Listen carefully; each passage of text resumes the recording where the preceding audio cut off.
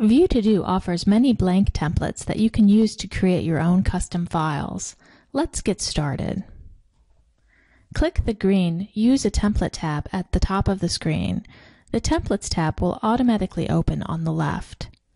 The templates are organized into categories communication systems, schedules, to-do lists, visual instruction, graphic organizers, and social narratives.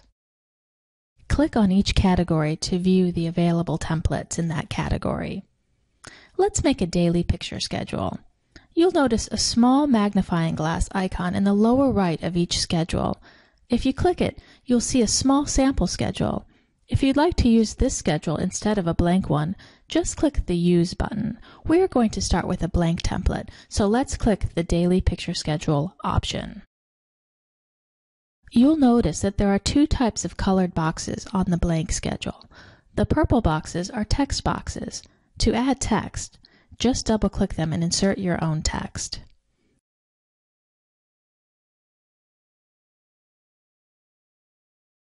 The pink boxes are image boxes.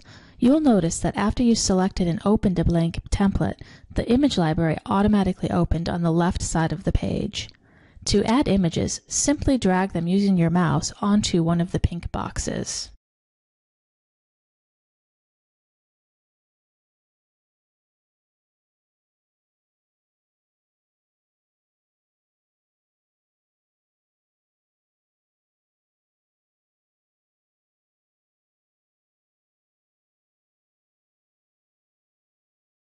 You can also rearrange elements by dragging them with your mouse.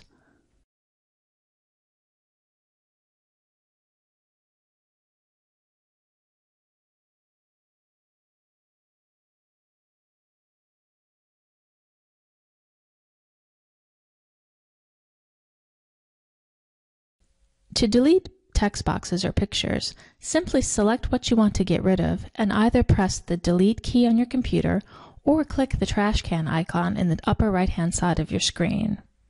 When you are done editing, save your schedule by clicking the Save button at the top of the screen, selecting a save location, and naming your new file.